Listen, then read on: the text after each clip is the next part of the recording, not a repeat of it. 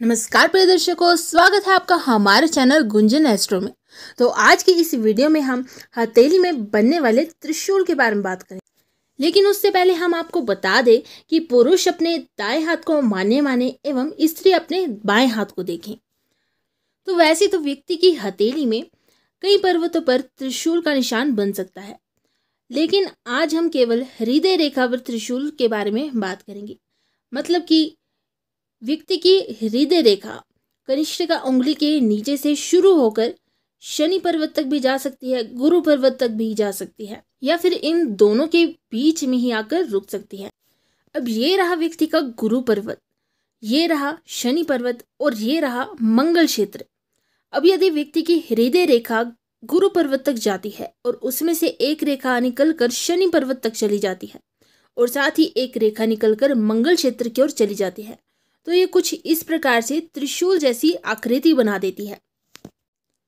हस्तरेखा के अनुसार ऐसे व्यक्ति पर भगवान शिव की कृपा सदैव बनी रहती है। भगवान शिव इन व्यक्तियों को एक अलग ही प्रकार का ज्ञान देते हैं और साथ ही साथ गुरु पर्वत की ओर एक रेखा जाने के कारण ये व्यक्ति दिल से काफ़ी भावुक होते हैं, उदार हृदय के होते हैं, इनके मन में किसी के प्रति छल कपट नहीं होता। लेकिन त्रिशूल की आकृति बनने के कारण, यानी कि इसमें से रेखाओं के अलग अलग पर्वत पर जाने के कारण, यह व्यक्ति के अलग अलग स्वभाव को दर्शाती है। मतलब कि ऐसे व्यक्ति में अलग अलग स्वभाव की प्रवृत्ति पाई जाती है, जो कि इनके लिए शुभ भी होता है और कई बार तो इनको अपने आप को समझने में भी काफ़ी मुश्किल होती है कि ये क्या चाहते हैं। हर एक अवस्था के कारण इन व्यक्तियों में अलग ही बिहेवियर देखने को मिलता है। जैसे कि कोई भी माहौल हो, ये अपने आप को उस माहौल में ही ढाल लेते हैं।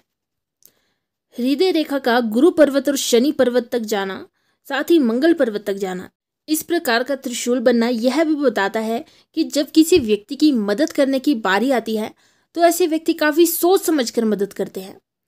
मतलब कि ये उस व्यक्ति की मदद तो करना चाहते हैं और ये उनकी मदद भी करते हैं, लेकिन कुछ प्रैक्टिकल प्रवृत्ति होने के कारण ये व्यक्ति पहले अच्छे से सोचते समझते भी हैं। अब मंगल क्षेत्र की ओर एक रेखा निकलने के कारण इन व्यक्तियों को अचानक से ही क्रोध आ जाता है जो कि इनको भी समझ नहीं आ, आता और फिर ये अचानक से ही दूसरे पर हावी हो जाते हैं। पूरी तरह से हथेली में हृदय रेखा का कुछ इस प्रकार से त्रिशूल बनना मतलब कि एक रेखा शनि पर्वत पर, एक रेखा गुरु पर्वत पर और एक रेखा निकलकर मंगल क्षेत्र पर जाना टोटली काफ़ी अच्छा माना जाता है, क्योंकि इन व्यक्ति में तीनों प्रकार की प्रवृत्ति होती है, जो कि इनको हर माहौल में ढलने के लिए विवश करती है, और इनको काफ़ी इन चीज़ों से दिक्कतें भी नहीं होती।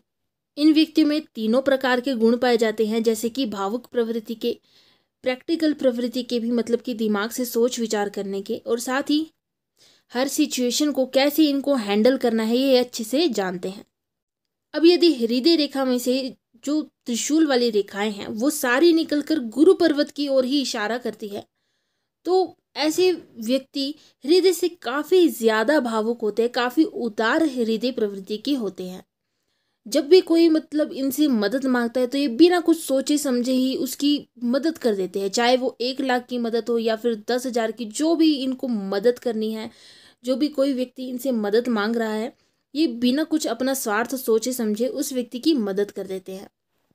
अब यदि व्यक्ति की हृदय रेखा में से एक रेखा निकलकर मंगल पर्वत की ओर जाती है और बाकी की ये दोनों रेखाएँ शनि पर्वत तक ही रुकती हैं, और साथ ही व्यक्ति की मस्तिष्क की रेखा भी आगे जाकर दो भागों में बढ़ जाती है तो ये इनके बिज़नेस के लिए काफ़ी अच्छा होता है। ये व्यक्ति व्यापार में अपना मुनाफा सोचते अपना ही फ़ायदा सोचते हैं। और साथ ही यदि किसी व्यक्ति की मदद भी करते हैं तो सबसे पहले उसमें अपना स्वार्थ देखते हैं कि इस, यदि मैं इस व्यक्ति की मदद करता हूँ तो इससे मुझको क्या फ़ायदा मिलेगा? मतलब बस कहने का तात्पर्य इतना ही है कि हृदय रेखा में से जितनी रेखाएँ निकलकर जिस जिस पर्वत की ओर इशारा करती है, ये उसी पर्वत का स्वरूप, उसी पर्वत का स्वभाव अपने ऊपर धारण कर लेती हैं। जैसे कि हमने पहले ही बताया था कि ऐसे व्यक्तियों पर भगवान शिव या फिर देवी शक्ति की कृपा सदैव बनी रहती है। जब भी इनको कोई मुश्किल पड़ती है तो भगवान शंकर या फिर माता देवी, माँ दुर्गा इनका साथ देती हैं। लेकिन ध्यान रखिएगा, यदि आपकी हृदय रेखा दो, केवल दो भागों में ही विभाजित होती है तो यह हथेली में त्रिशूल नहीं बनाती, बल्कि यह वे चिन्ह होता है, जो कि भगवान विष्णु का चिन्ह माना जाता है। ऐसे व्यक्ति पर भगवान विष्णु की कृपा बनी रहती है। वी चिन्ह से संबंधित पूरी वीडियो हमारे चैनल में दे दी गई है।